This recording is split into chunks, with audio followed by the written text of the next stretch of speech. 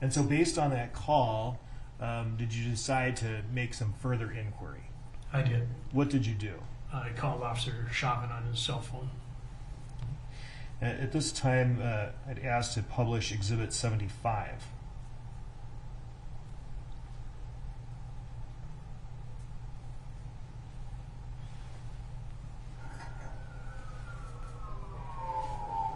Hello, 230 here. Yeah, I was just uh, gonna call you and have you come out to our uh, scene here. Um, not really, but we just had to had to hold the guy down. He was uh, was uh, going crazy. wouldn't go in. Uh, shutting off for the moment. Wouldn't go in the back of the uh, squad